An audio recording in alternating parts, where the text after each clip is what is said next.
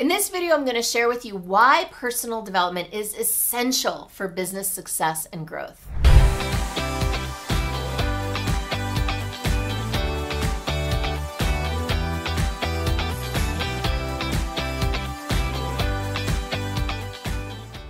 Here's a little bit about what I'm going to cover in this video. I'm going to start with my personal story and how personal development helped me break through to a whole new level of my business and life. And then I'm going to get into the two biggest ingredients that were present for me that you can, I hope, apply in your business and your life so that you can grow and evolve. I started my business 15, almost 15 years ago. And back then, I was a very different person than I am now. Any one of my clients or friends who's known me a long time can tell you that. Back then, I believed that I didn't need personal development.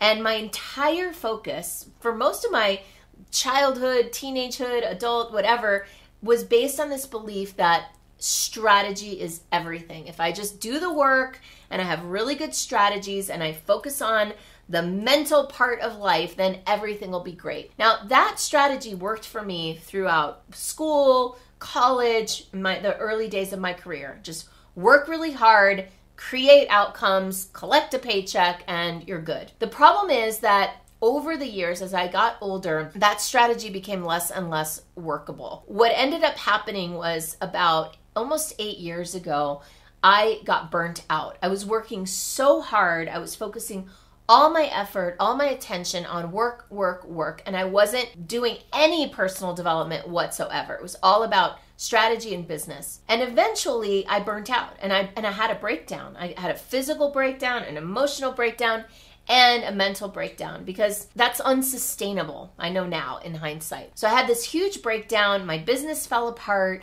and I stopped making money. It just all kind of collapsed at the same time.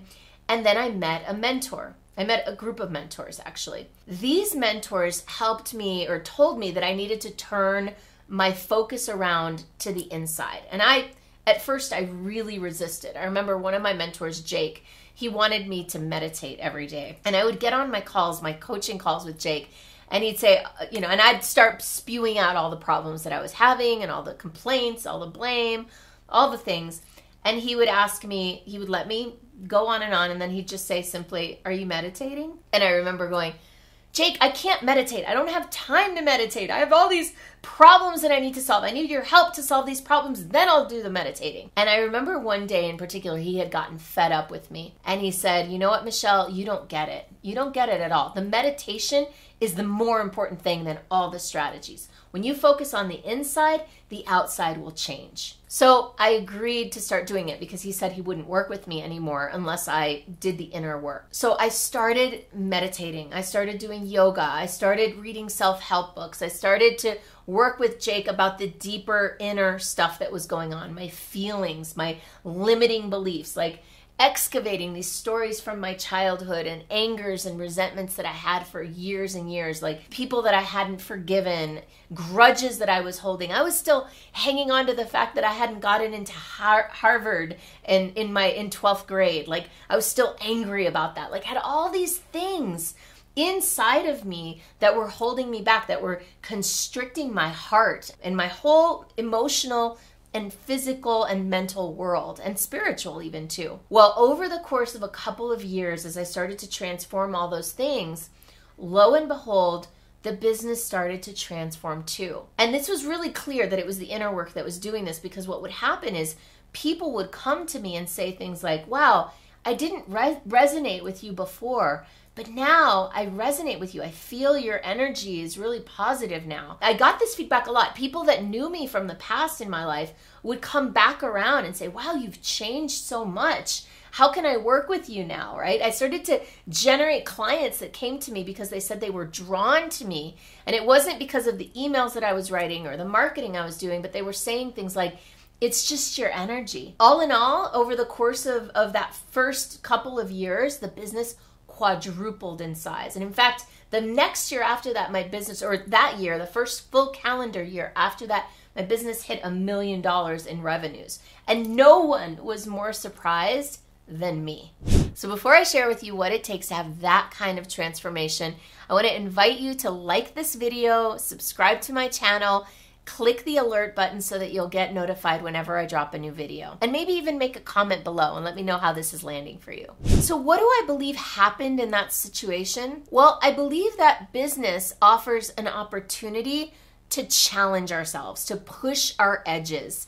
It's an opportunity, at least my business and maybe yours too, to be in leadership, to communicate more effectively, to enroll people in a vision, to put ourselves out there. And all of those things require us to be confident, to be connected to ourselves, to our own heart, to be open hearted. I had built so many walls around myself with strategies and systems and straight A's that I didn't let people get close to me. I didn't let clients really deeply connect with me. I had all these boundaries and things that were keeping me separate, and that was keeping my business difficult and small. As I started to unwind all that and I started to open up all those layers, people started to feel more connected, like I was more authentic, like they could trust me more. And that is really the beauty of personal development. When we start to heal the old wounds, we start to let go of the old stories. When we start to build trust in ourselves and trust in whatever is greater than ourselves, we can start to grow. We can take bigger risks. We can try new things without feeling like our entire ego is wrapped up in a specific outcome. It allows us to just take more chances and, and be bigger. The two things that I've identified are the most important for this kind of work. And I'm not saying they're the only two things, but they're the two things that seem to come back again and again when I'm working with my own clients now, helping them have personal transformations that can lead to bigger business growth. The first is desire. I had gotten disconnected from my desire and I had confused desire with wanting the things that I should want, that the world, that my parents, that the culture told me that I needed in order to be a good person or a successful woman. I had disconnected from my true desire, the innate things that I really, really wanted for myself. For example, one of those things was creativity. I had completely dissociated from the fact that deep down, I'm an artist. I as a kid I loved to dance and sing and act and paint and design things. None of my business at the time was built around those things. I had completely separated from my own desires. Tapping back into s- slowing down, meditating, doing yoga, working with my coach allowed me to tap back into desire and to start to build desire back into my business. I desired to be creative. I desired to have experiences that were rich and new and have intimacy with people, with clients, right? Having the desire for those things and then creating the business around those desires was a big, big breakthrough. I instead, and before that, I had tried to not have the desires that I had so that I could focus, right? Instead of aligning the business around the things that I naturally desired and loved to do. The second big shift was getting a mentor, having mentorship, having people in my life that would help me see myself more clearly and help me dig into who I really was so that I could create greater alignment with the business. Having mentors was such a game changer. I never had a mentor before that. Or if I did, it was only focused on strategy and business, not on the internal piece. The problem when we focus externally on just the strategies, on just the marketing, or just the business stuff is that we can end up creating a business that serves the market well. It might even be successful, but is not a fit for who we really are. It's like wearing clothes that don't fit us very well, right? It might actually look good to the outside viewer, observer, but if the waistband is digging in and the the shoes are rubbing and the tag is scratching, it's uncomfortable. It doesn't feel good. And then when we get home at the end of the day, we just want to rip off those clothes. When we create a business like that, from the outside in, it can be much the same way. It just doesn't fit doesn't feel good. And that's where personal development comes in. When we go inward first and develop the business from the inside out, then not only can we create better outcomes, right? It also feels better every step along the way.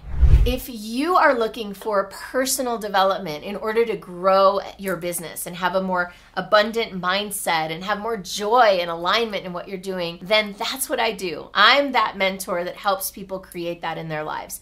If you're interested in having a conversation about if or how I can support you, you can set up a discovery call with me at superstaractivator.com slash go or just click on the link below. I hope to meet you soon.